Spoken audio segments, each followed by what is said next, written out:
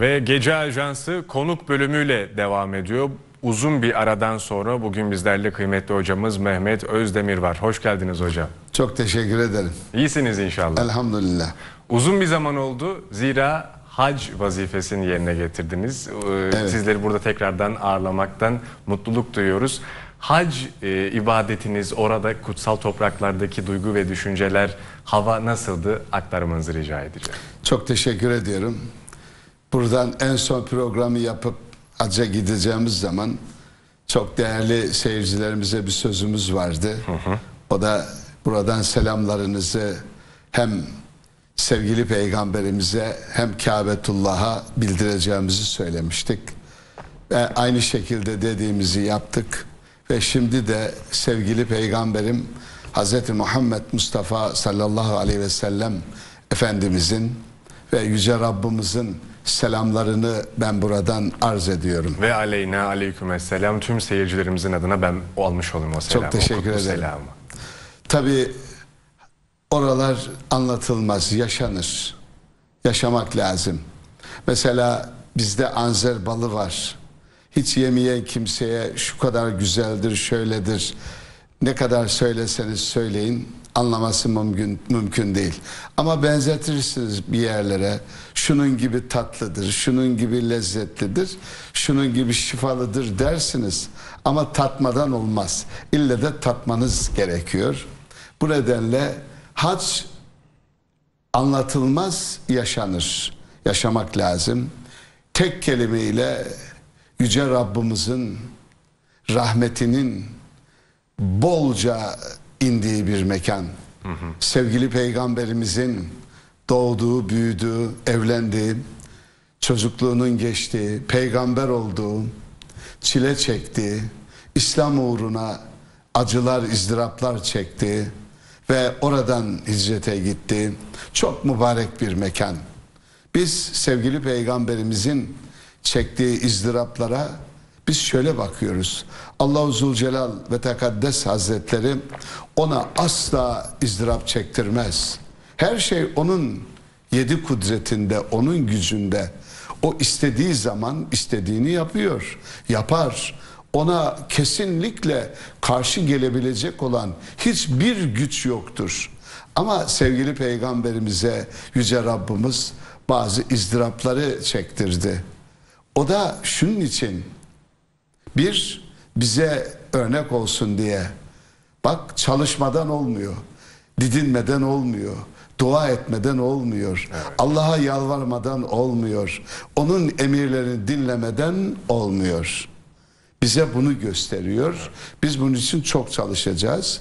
Bir de belki seyircilerimizin duyduğu veya az duyduğu bir şey bir gün Cibril Cebrail aleyhisselam yüce Rabbimize ya Rabbi Muhammed aleyhissalatü vesselam'ı çok seviyorsunuz ona Habibim diyorsunuz seni yaratmayacak olsaydım kainatı asla yaratmazdım buyuruyorsunuz bu kadar çok seviyorsunuz ama neden bu kadar sevdiğinize izdırap veriyorsunuz? Acı çektiriyorsunuz. Neden? Onlar naz makamında oldukları için Yüce Rabbimize soruyorlar.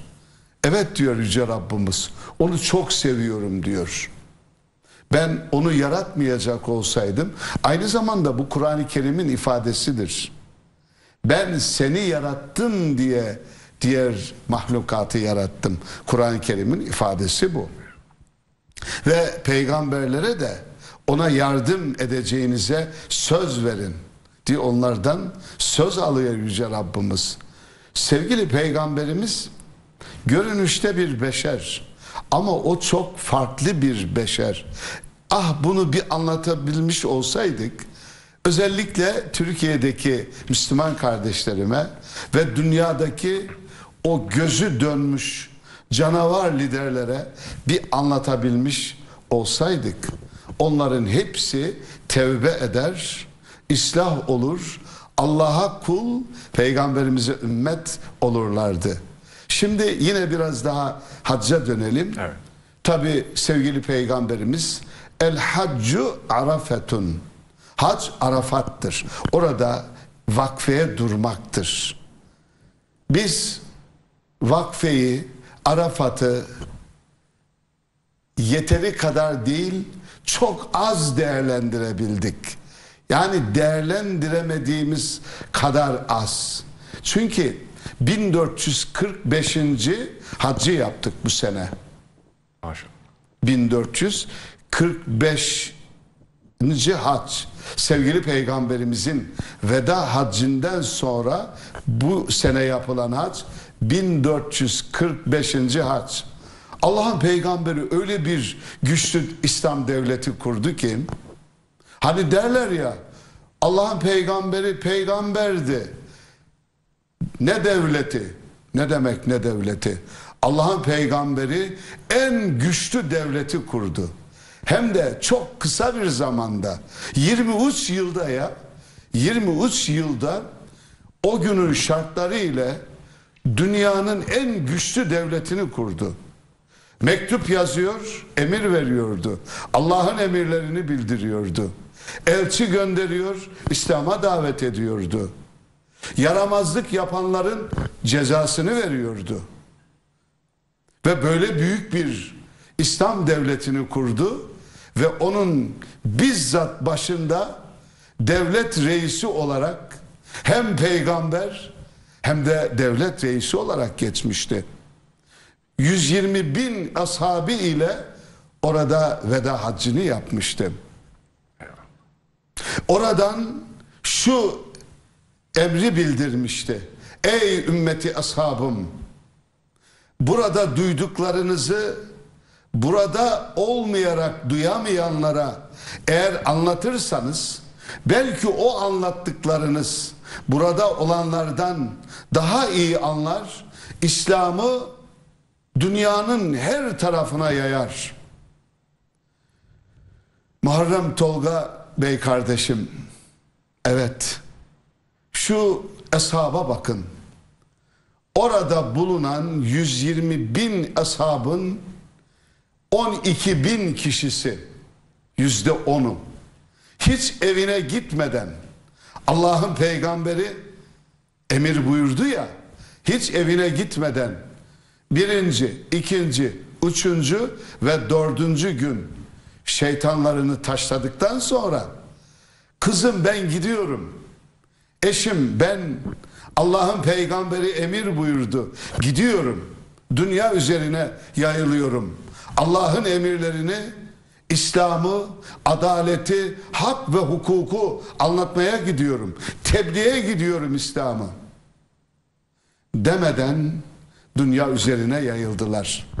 Bugün dünyanın her tarafında bir eshab-ı kiramı bulmak mümkün. Sevgili Muharrem Tolga Bey kardeşim 1445 yıl sonra Arafat'ta vakfeye durduk. Allah'a hamdolsun. Herkese nasip olsun. Ama değerlendiremedik. Ne manada? Evet ne manada? Dünya üzerinde 204 ülke var böyle küçüktü büyüktü bildiğim kadarıyla. Bütün ülkelerden öyle tahmin ediyorum hacı düzeyinde de olsa temsilci var. Bazı ülkelerden daha büyük temsilciler var. Daha ileri düzeyde temsilciler var. Çünkü orada kimlik yok. Orada makam yok. Orada mevki yok. Orada ben şuyum buyum yok. Herkesin sırtında iki parça elbise. Mahşer provası. Maş, evet mahşer provası. İki parça. Kimsenin kimseye üstünlüğü yok. Üstünlük ancak Allah'a kullukta. Orada toplandık. Vakfemizi yaptık. Bugün İslam kan ağlıyor kardeşim. Ne yazık. Biz söz gelimi iyiyiz diyoruz ama hayır iyi değiliz. Bugün Gazze'de bebekler öldürülüyorsa, kadınlar öldürülüyorsa, hastaneler bombalanıyorsa Müslüman nasıl iyi olur? İyi olmasının imkanı yok. Eğer iyi oluyorsak demek ki bizim inancımızda bir sakatlık var. Maalesef orada toplu dualarda yapıldı. Munferit dualarda yapıldı. Gazze'deki bir avuç Müslüman Türk İzzettin Kassam Tugay dediğimiz o imanlı, o ihlaslı, o Allah'a bağlı o kardeşlerimize dua ettik şöyle. Cılız da olsa ettik ama dikkatinizi çekiyorum dinleyenlerimin de kafir kendisine sahip çıkıyor. Orada Amerikalı orada. İngiliz orada. Fransız orada. Bütün kafirler orada. Kime karşı birleştiler? Bir avuç evini savunan, bahçesini savunan, çocuğunu savunan, hastanesini savunan, burası benim toprağımdır, ne işim var burada dediği o mübarek insanlara karşı bunlar toplandı. Hiç de utanmıyorlar. Utanmak yok, sıkılmak yok. Ama maalesef hepsi orada. 2 milyar İslam alemi var. Biz neredeyiz?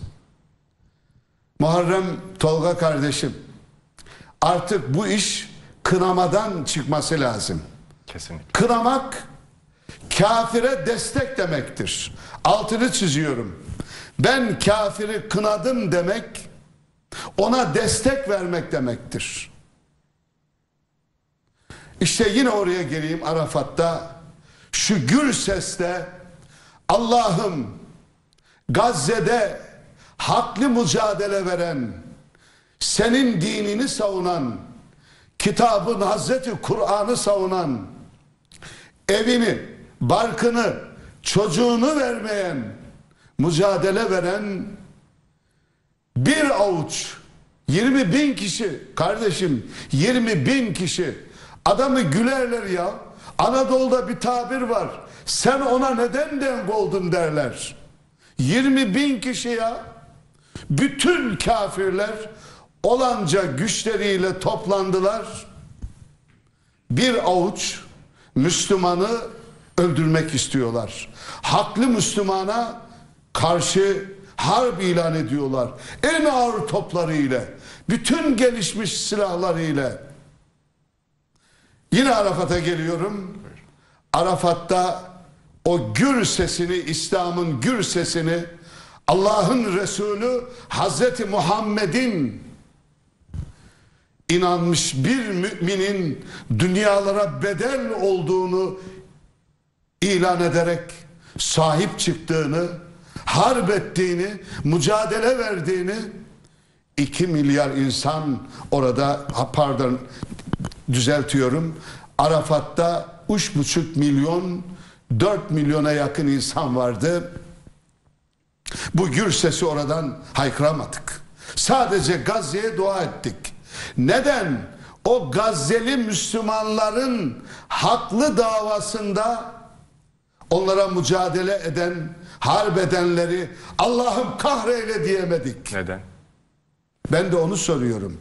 Ben de sana soruyorum. Neden diyemedik? Allah'ım ben durup dururken kafiri kahreyle demem. Bu İslam'da yok. Bak çok altını çizerek söylüyorum. Ukrayna'da çocukları öldürenlere karşıyım. Onlara da aynı şeyi söylüyorum. Kadınları öldürenlere, savunmasız insanları öldürenlere benim dinim asla müsaade etmiyor. İşte ben de o nedeni soruyorum. Neden? Neden yapamadık biz bunu? Değerli Tolga kardeşim, onun için oradaki ölen çocukların, masumların, bebelerin, aç yatan o yavruların hesabını Allah 2 milyar İslam aleminden soracak. Hesabımız da kolay asla olmayacaktır. Ama Tolga kardeşim Selçuklu ve Osmanlı ecdadımız. Onlar bizim ecdadımızdır. Onlar Türktür. Hem de Müslüman Türk. Ehli sünnet Türk. Şeriatçı Türktür onlar. İşte onları dünyanın en güçlü süper ülkesi yapan unsur nedir diye sorarsan onlar Kur'an'a bağlı, sünnete bağlı, ehli sünnet ehli, şeriatçı insanlar oldukları için Allah onlara bu gücü, bu kuvveti verdi. Onlar ne yaparlardı biliyor musunuz? Ne yaparlardı? Bugün, bugün Osmanlı olsaydı asla Rusya Ukrayna'ya böyle savaşamazdı. Asla bunu yapamazdı. Hele hele Gazze'ye, Filistin'e asla yapamazdı. Ne manidardır. Avrupa'da Hristiyan ülkelerin, insanların bulunduğu Avrupa'da idareciler kendi toplumunu cezalandıracakları zaman şöyle derlermiş. Şimdi sizi bizim elimizden kim kurtaracak? O gayrimüslim de olsa o inans insanlar onlar mazlumdurlar. Mazlum hiçbir zaman mazlumsa bir kafir hiçbir zaman ona zulmedilmez. Onlar ne derlerdi biliyor musunuz? Ne derler? Allah'ın kılıçları olan Müslüman Türk milleti bizi kurtaracaktır. İsterseniz anlatacağımız çok şey var biliyorum soracaksınız. Yeri gelmişken şuradan bir iki şeyi anlatmak isterim. Buyurun elbette. Almanlar biliyorsunuz Fransa ile Almanların ayıran Ren Nehri var. O zaman Almanlar çok güçsüzdü. Fransızlar biraz daha güçlüydü. Ren Nehri'nin bir tarafını 18. yüzyılın sonlarında oluyor bu hadise. Ren Nehri'nin Almanlar tarafına kalan kısmını Almanlar, Fransızlar tarafına kalan kısmını da Fransızlar ekiyor, biçiyor, topluyor. Fransızlar o devir biraz güçlü. Almanlar güçsüz. Her sene Fransızlar nehri karşıya geçiyor. Almanların ektikleri ürünleri, ekinleri çalıp götürüyorlar. Almanlar illallah dedi.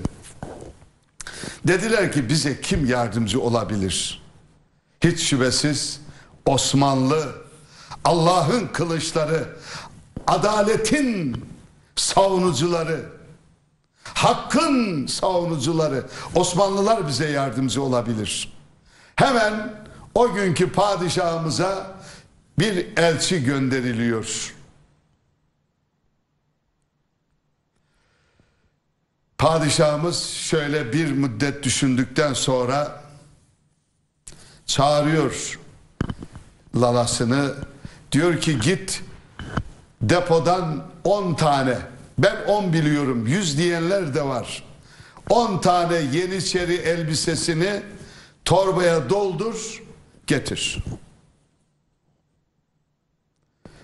Çok ilginç değil mi? Evet merakla bekliyoruz. Bekliyorsun. Evet ben de biraz merak yapayım o zaman. Tabii 10 tane yeniçeri elbisesi geldiğinde elçiler efendim bunlar ne olacak? Gidin Mulheim kenti işte Ren Nehri'nin kıyısı 10 tane Almana veya 100 tane Almana bu elbiseleri giydirin. Silahsız, tüfeksiz. Oraya devriye nöbeti tutsunlar. Gitsin gelsinler. Aman efendim, otları patlıyor ya. Padişahımız ne diyor biliyor musunuz? Ne diyor? Diyor ki bunları git 10 kişiye giydirin devriye nöbeti geçsinler oraya. Devriye nöbeti tutsunlar. Şayet bir şey olursa onlar korkak ademlerdir. Gelir gerekeni yaparım. Eyvallah. Evet gittiler. 10 tane elbiseyi Almanlara giydirdiler. Kep başlarında, elbise sırtlarında dolaşmaya başladılar. Karşıdan gözetleyen Fransızlar Osmanlı buraya Yeniçeri gönderdi diyerek 200 kilometre içe doğru kaçtılar. Kendi ekinlerini bile o sene toplayamadılar. İşte Müslüman Türk milleti bu. Osmanlı bu. Selçuklu bu. Peki onlara bu güç nasıl verildi Allah tarafından? Nasıl? Onlar İslam'a son derece bağlıydılar. Ehli sünnete bağlıydılar. Hani bugün Kur'an'da varsa inanırım diyenler var ya. Kur'an'da varsa inanırım diyenler insanları küfre doğru götürüyor demektir. Hayır efendim. Kur'an'ı bize anlatan Allah'ın peygamberidir. Allah'ın peygamberinin anlattığı doğrultuda hareket etmeyenler her düşünen kendi fikrini oraya koyar. İslam bugünkü gibi tamamen darmadağın bir hale geldik. Ben böyle anladım diyor.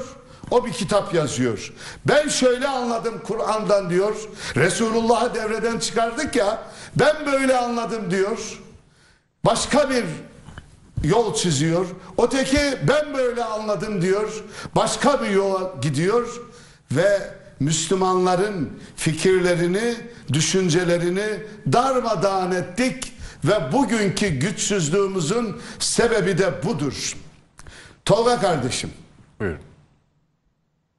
Neden bizim üniversitelerimizde azıcık oluyor bak, hak yemeyelim.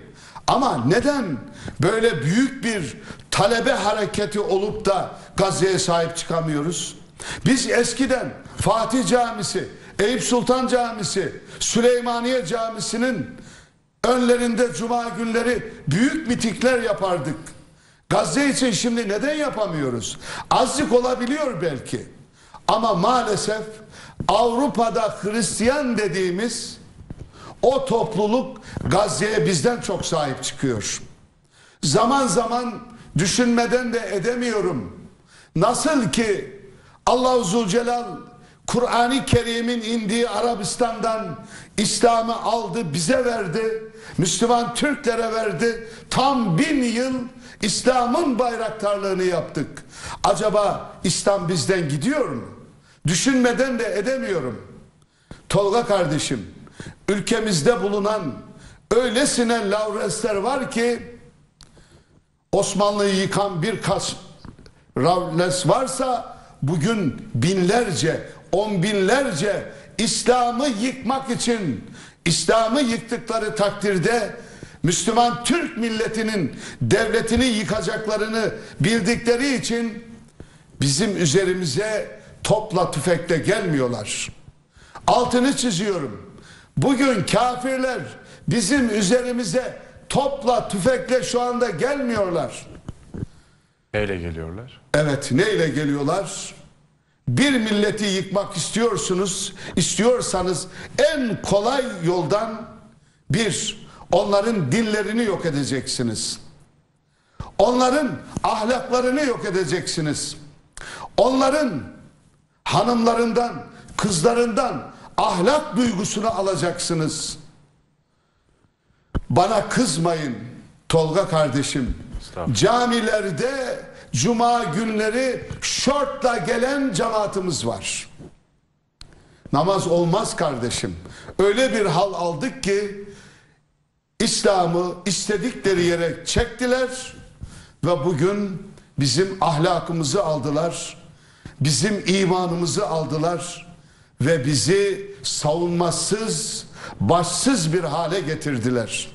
Ben bugün Avrupa'da o sokakları dolduran, o üniversitelerin bahçelerinde bahçeleri doldurup Gazze'ye sahip çıkan o gençlere dua ediyorum. Nasıl dua ediyorum? Onlara şöyle dua edilir. Allah'ım ne olur onlara İslam'ı nasip eyle. Onların Müslüman olmasını onlara nasip eyle. Onlar Allah'ın kullarıdır. Zaten bizim inancımız budur değerli kardeşim. Onun için Arafat'taki vakfeyi biz şöyle bir yazılı metin haline getirebilirdik ama maalesef getiremedik. Bu bizim 1445 yıl önce sevgili peygamberim Hazreti Muhammed Mustafa sallallahu aleyhi ve sellemin bize miras olarak bıraktığı insan hakları evrensel beyanname dedikleri o ucubenin bin yüz bin kat üstünde ve aleme nizam verebilecek olan insanları zulümden kurtarabilecek olan Hazreti Kur'an'ın sünnet-i seniyyenin hulasasıydı. İşte o veda haccındaki sevgili Resulümün buyurduğu veda hutbesi. Maalesef bugün biz bunu yapamadık. Maalesef bu gür sesi çıkaramadık. Eğer biz bu gür sesi çıkarabilmiş olsaydık kafir geriye adım atmak zorundadır. Ama ben endişe ediyorum. Bugün Gazze'ye sesimizi çıkaramadık. Dün Suriye'ye sesimizi çıkaramadık. Öbür gün Irak parçalandı sesimizi çıkaramadık. Daha öbür gün Libya parçalandı sesimizi çıkaramadık.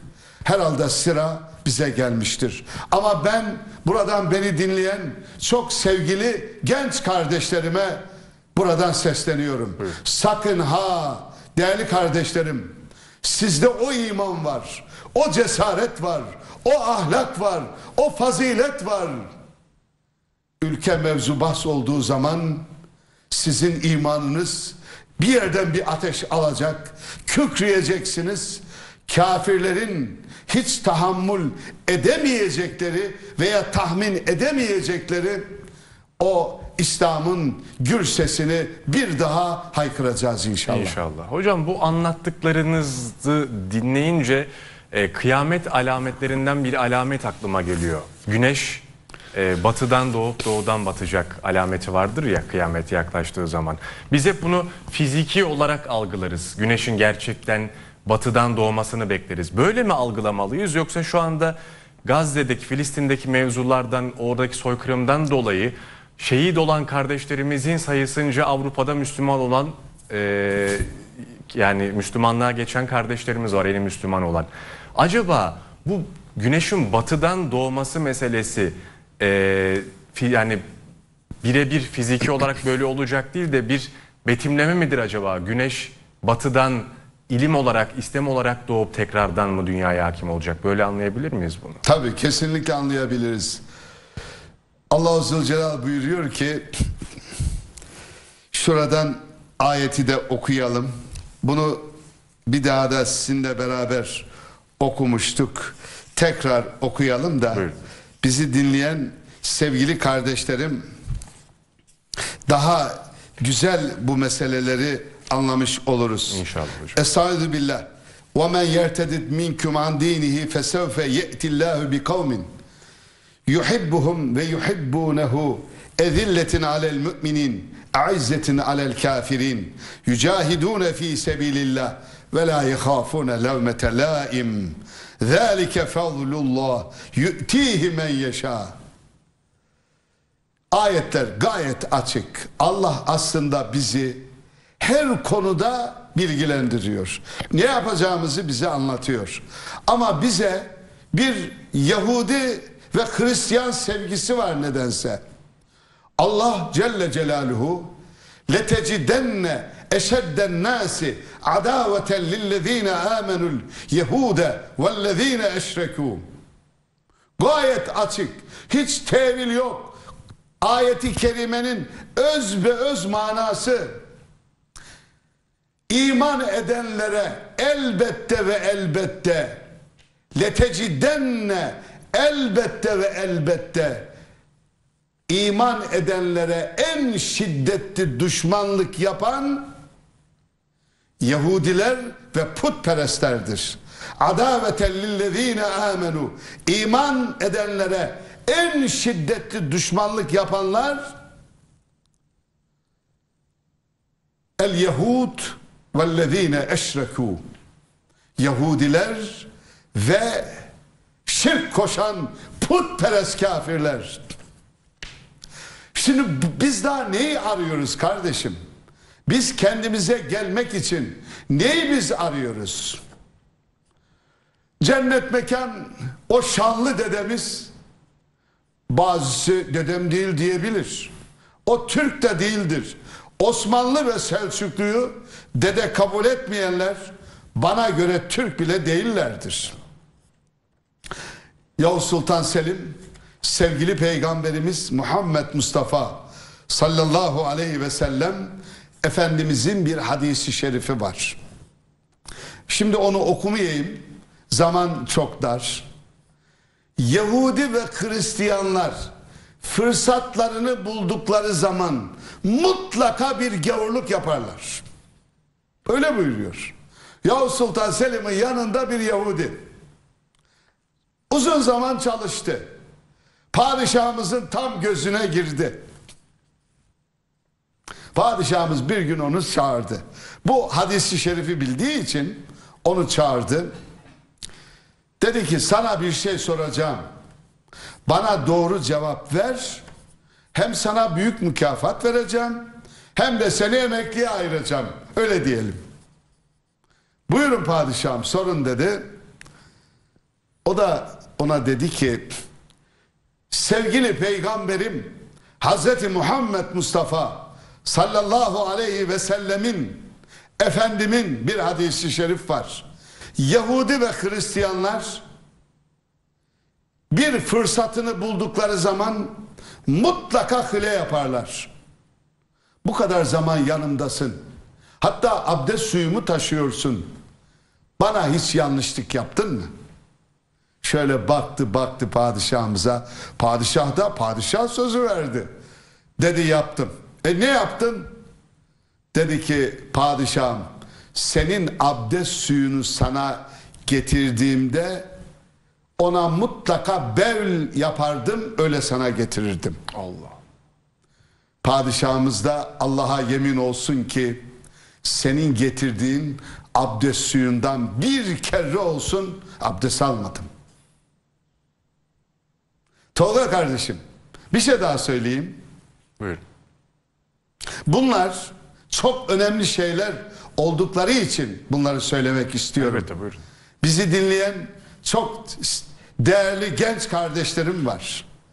Kız kardeşlerimiz var. Erkek kardeşlerimiz var. Halkımız var. Bize dua edecek olan yaşlılarımız var. İnşallah. Bekliyoruz dualarınızı. Kurtuluş Savaşı'nda bizimle kim savaştı? Sen benden iyi bilirsin. İngilizler var mıydı? Fransızlar var mıydı? Evet. İtalyanlar var mıydı? Ermeniler var mıydı? Yahudiler var mıydı? Hepsi vardı. Tüm İslam karşıtları vardı. Vardı değil mi?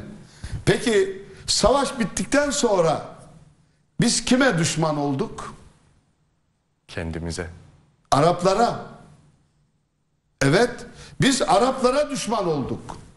Biz bunlarla savaştık, Araplara düşman olduk. Savaştıklarımızın da hayranı. Evet. Tolga kardeşim. Ben takip ediyorum. Çok iyi tarihçilerimiz var. Gerçekten çok iyi tarihçilerimiz var. Eğer biz İslam tarihini, Osmanlı'nın tarihini, Selçuklu tarihini, Türk tarihini bizim aslımız 4-5 bin yıla dayanıyor ya. Türk milletinin aslı. Dünya üzerinde hiçbir mazlumun kanına eli bulaşmayan millet yüce Türk milletidir. Aksini iddia eden varsa tarihçilerimiz çıksın onlara cevap versin. Hiçbir mazlumun mazlum ister kafir olsun kim olursa olsun hiçbir mazlumun kanına eli bulaşmayan millet yüce Türk milletidir. Biz tarihimizi iyi okumalıyız. Yeniden yazılması lazım. Ama biz ne yaptık onu anlatayım. Ne yaptık? Bu çok önemli.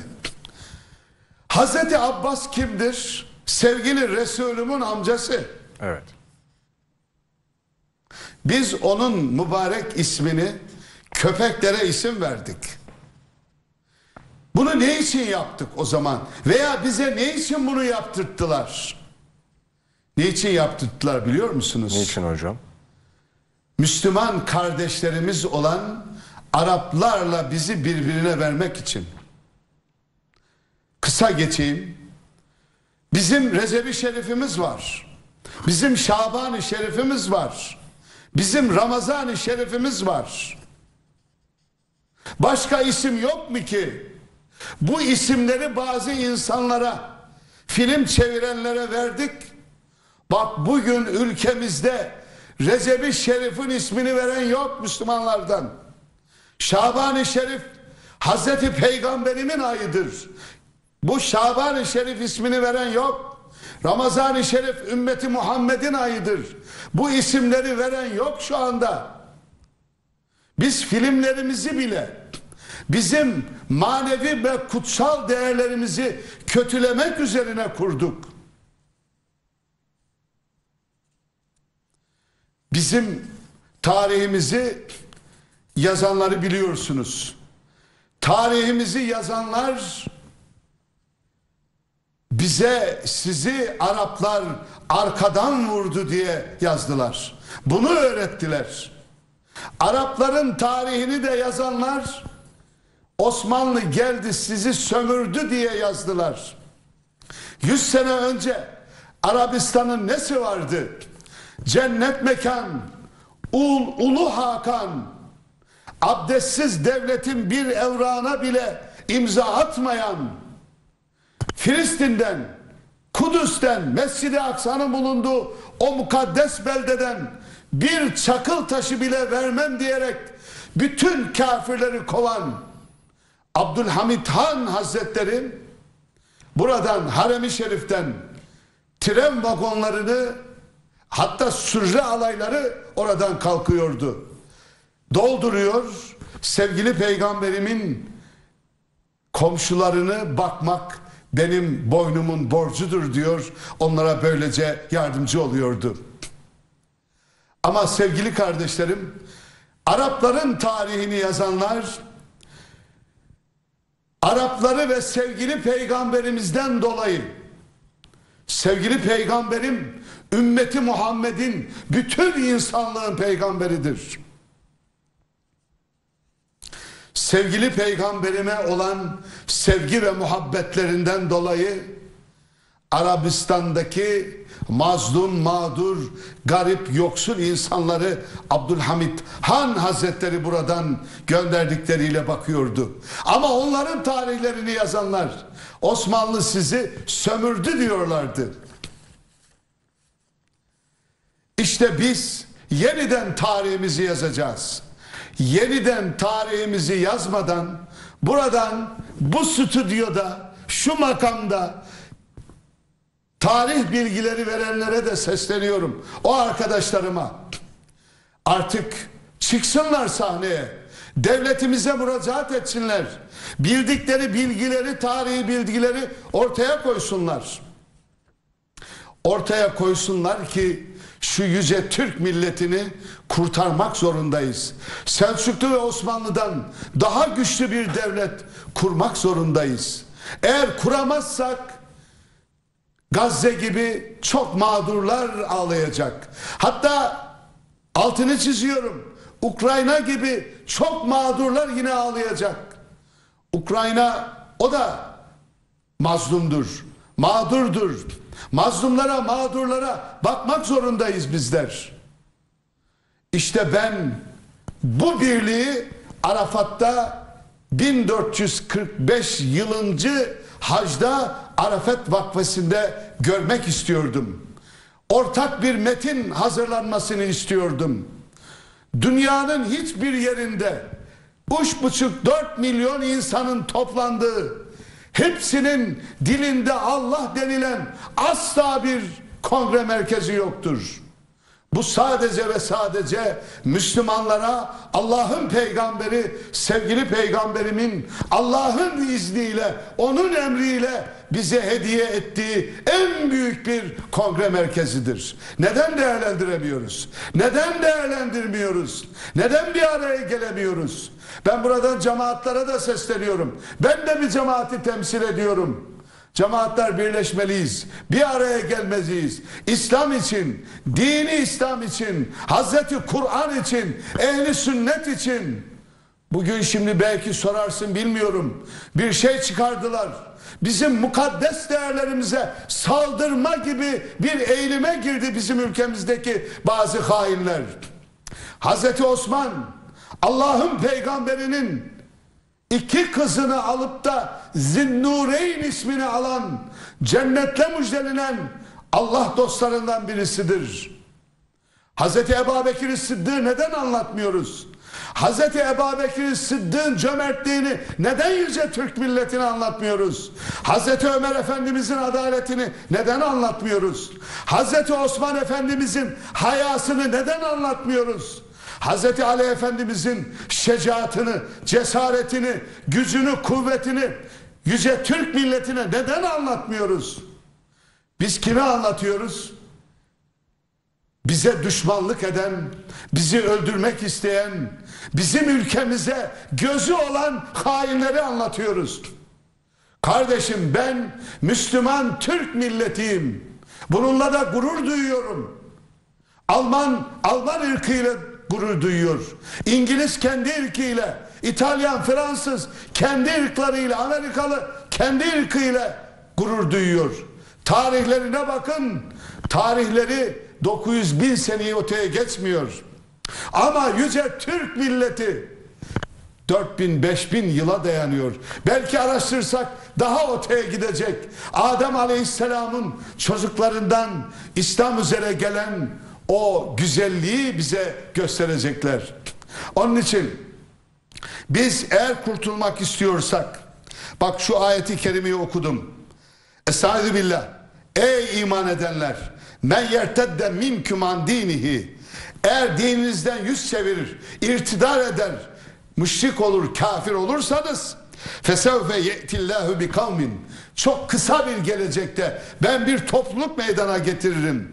Yuhibbuhum onlar beni sever ve yuhibbunehu ben de onları severim. Ezilletin alel müminin müminler üzerine gayet mütevazıdırlar. Evet müminler düşen, yoksul, mazlum o müşfik elimizi uzatmalıyız. Allah'ın peygamberi bize böyle öğretti. Ama biz nedense sevgili peygamberimizden, İslam'dan, dinden, imandan habire kaçıyoruz. Kurtuluşumuz halbuki orada. Kurtuluşumuz İslam'da. Çocuklarımızı dinden uzaklaştırdık. Biz temiz toplum yetiştireceğiz dedik. Üzülerek söylüyorum. O yavrularımızın, o gençlerimizin hiçbir kusuru yok. Kusur başta benim, sonra senin, sonra idarecilerimizin, sonra bu ülkeye yön verenlerindir.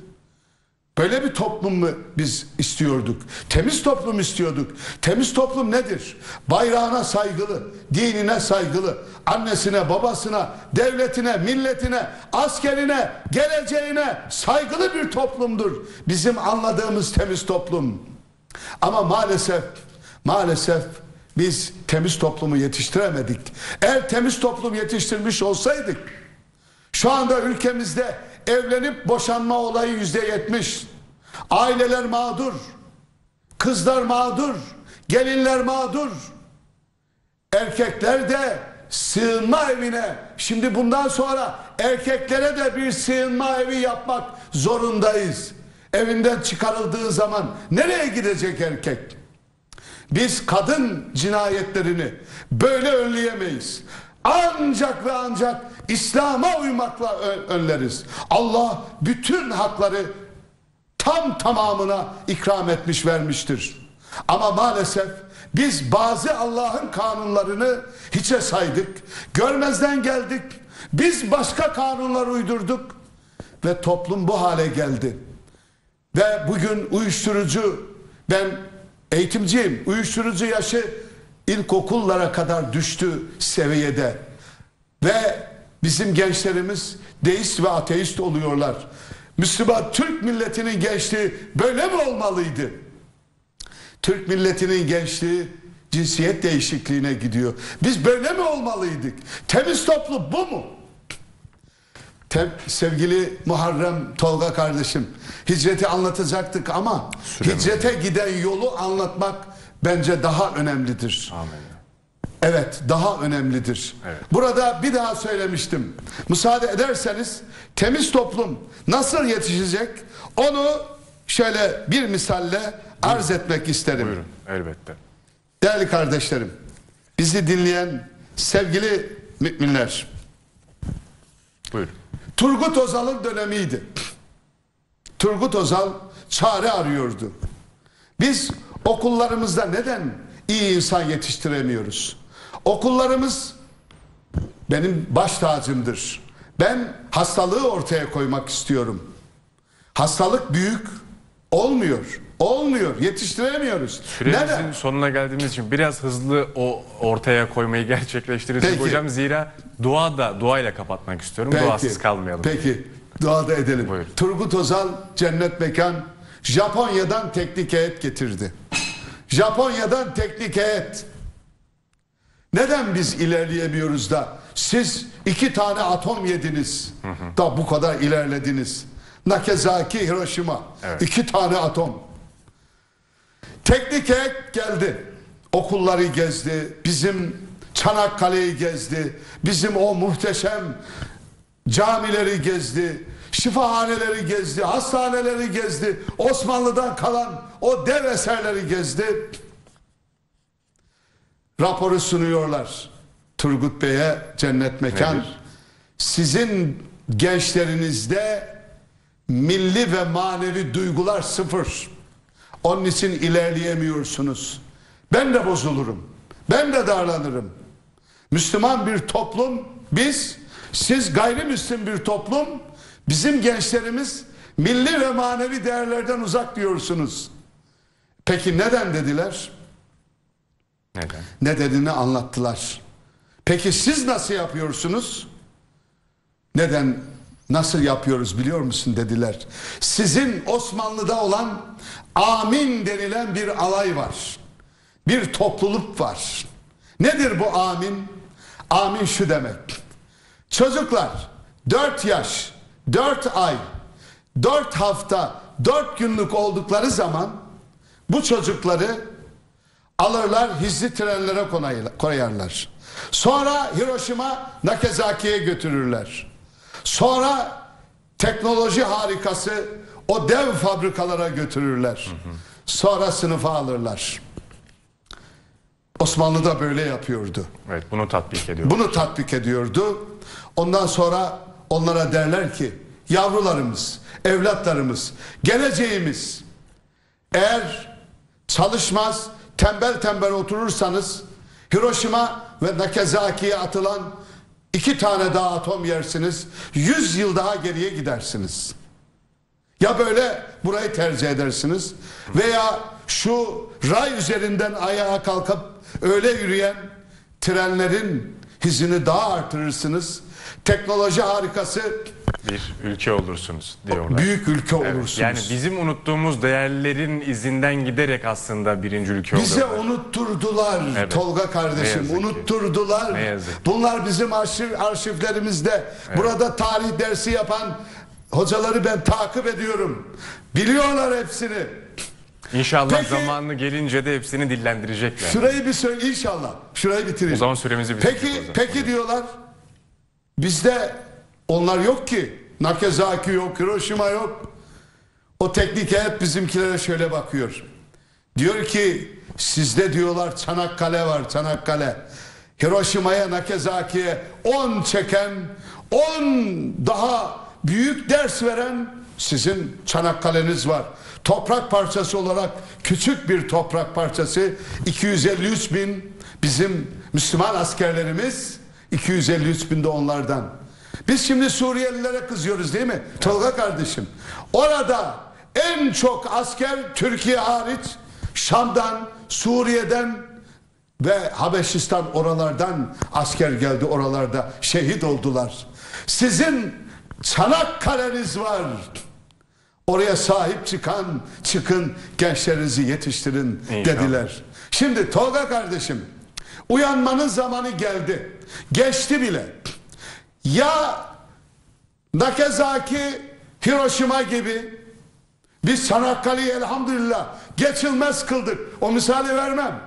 Ya Hiroşima, Nagasaki gibi yerle bir olacağız. Veya Çanakkale gibi dimdik ayakta duracağız. Yedi düvel kefereye oradan geçit vermeyeceğiz. Kendimize geleceğiz. Birbirimizi seveceğiz. Ben bir cemaati temsil ediyorum. Tunaylı Vakfı'nın başkanlığını yürütüyorum. Ben bütün cemaatlerle iyi geçinmeliyim. Yaz döneminde çocuk öğretmek, okutmak durumundayız. Biz onlara şeriatı anlatıyoruz. Şeriat nedir? Şeriatı şimdi İslam'ı ocu gibi gösteriyorlar. Evet. Ya bu en büyük tehlikedir. Ben şerata karşıyım demek Allah'a karşıyım demektir. Dinden çıkar.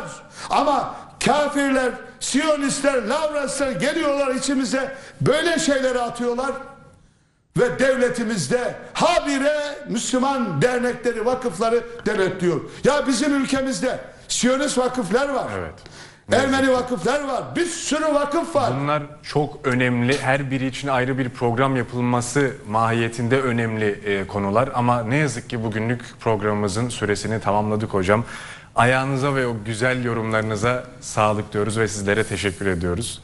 Allah razı olsun. Bugünlük de Gece Ajansı'nın sonuna geldik sayın seyirciler. Bir haftayı bitirdik. Pazartesi gecesi görüşmek dileğiyle yeni gününüz ve geceniz hayır olsun daima. Allah'a emanet olun.